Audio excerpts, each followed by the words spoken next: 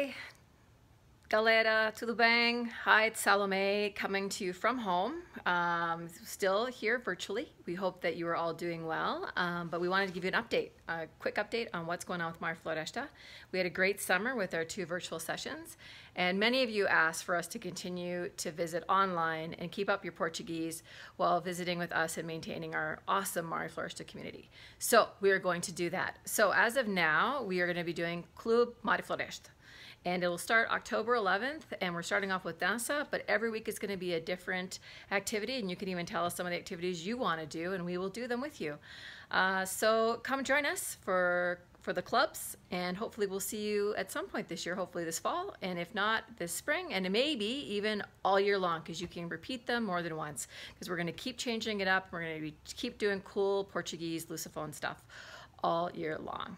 So oh yeah by the way usual suspects. A lot of the staff will be coming back. You'll be seeing faces coming in and out. So if you want to see your friends, this is the place to meet. We'll hope to see you soon. Até logo. Ciao.